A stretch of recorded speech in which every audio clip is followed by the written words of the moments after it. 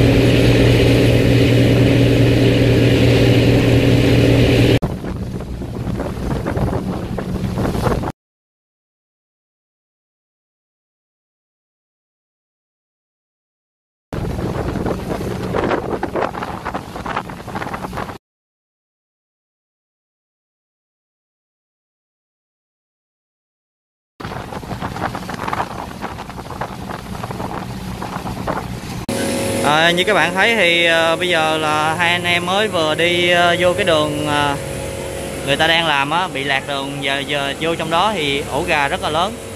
Thì đó đây là cái à, thiệt hại ban đầu.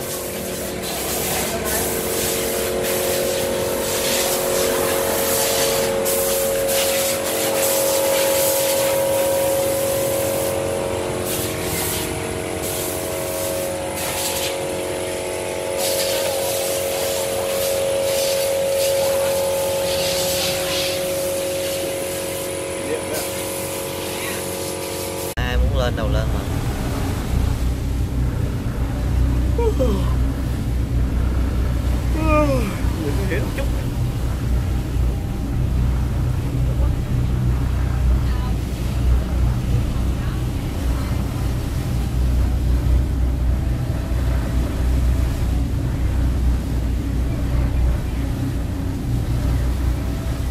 chút còn tới đó qua mà đi con đó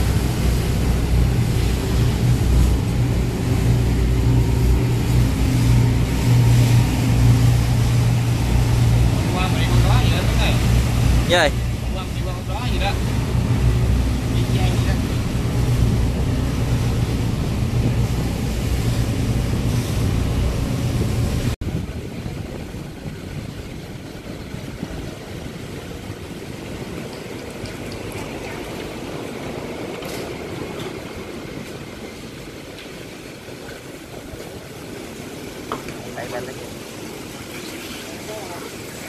còn tiền trả không mày bình ghê Thank you.